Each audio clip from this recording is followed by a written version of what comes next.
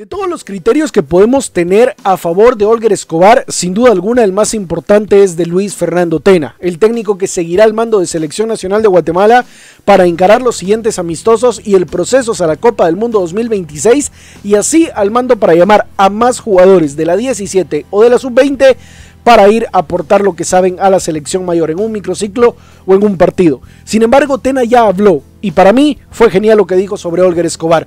Pero sin duda alguna, antes de dar esta noticia y comentarles lo que Tena dijo sobre Olger, hay que ser bastante honestos y recapitular un poco hace unos días y en este su canal dimos una noticia donde a mí me criticaron mucho por darla pero seré honesto.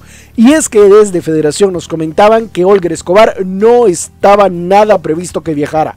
Olger Escobar se iba a quedar con la selección sub-20 de Marvin Cabrera en este microciclo, en donde llamaron a Matt Evans y demás legionarios, pues este microciclo iba a ser parte de Olger Escobar, o mejor dicho, Olger Escobar iba a ser parte de este microciclo, no viajando con Selección Nacional de Guatemala. Sin embargo, las lesiones de Alejandro Galindo, de Rodrigo Sarabia y también la falta de papelería correcta del Cookie Lemus han hecho que todo se conjugue a favor de que Olger Escobar pueda viajar con la Selección Mayor de Guatemala. Y me criticaban porque yo decía que hubiera sido un error no llevarlo, y no voy a cambiar mi pensar. Para mí hubiera sido un gran error no llevarlo, pero sin embargo, todo se conjugó para que Tena le diera un espacio en la selección mayor en este partido contra la selección de Jamaica. Y sí, con 17 años, Olger Escobar debutó y vamos a ver las palabras de Luis Fernando Tena. Y es que creo yo que este es un jugador con cualidades muy distintas al resto y se los voy a explicar por qué. Sin embargo, vamos a ver lo que decía Luis Fernando Tena sobre el debut de Olger Escobar con 17 años. Y Tena decía lo siguiente ayer por la noche. Me deja buena impresión la tranquilidad con la que jugó y me quedé con la sensación de que le hubiera dado más minutos. A ver, esto donde quiera que se le vea es positivo. ¿Por qué? Porque el entrenador nacional de tu selección mayor no a cualquiera le va a decir que ojalá le hubiera dado más minutos. No lo dijo con Diego Santis, que a pesar que hizo un buen partido. No lo dijo con Elmer Cardosa. No lo dijo tampoco con Chava, el defensa central de Malacateco que entró en el segundo tiempo.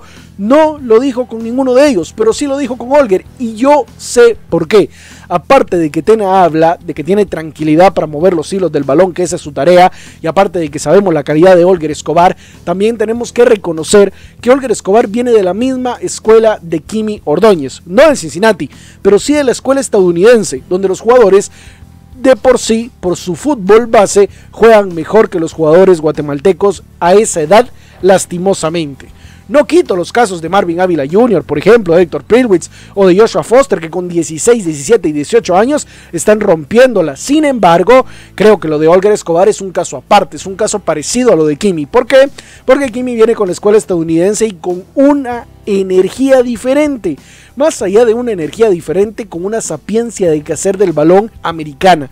Y eso mismo lo trae Olger Escobar y es lo que Guatemala necesita. Y por eso a Guatemala le interesa tanto Olger. Entonces, sabiendo todo esto, sin duda alguna sabemos que este jugador es diferente al resto. No mejor que el resto, pero sí con cualidades diferentes en las que puede aportar muchísimo para Selección Nacional de Guatemala. Y las palabras de Tena son concretas, escuetas, pero claras. La realidad es que le gustó con la tranquilidad que jugó y ojalá le hubiera podido dar más minutos. Es decir, que lo hubiera hecho entrar antes del minuto al que entró realmente. Sin embargo, creo que como digo, por donde quiera que se le vea esto es positivo para el mismo jugador Olger Escobar, es positivo para Guatemala y así como los astros y la vida se alinearon para que Olger, a pesar de que no estaba convocado o bien presupuestado en un inicio para ir con el viaje a Selección Nacional de Guatemala y al fin llegó, pues yo creo que algo será y por algo es. Ojalá no solo Olger, sino demás jugadores que hicieron las cosas bien, sigan siendo parte de este buen proceso. ¿Qué es lo que tú crees? Déjame tu like, tu comentario, tu suscripción y mi gente nos vemos. Hasta la próxima. Dios te bendiga.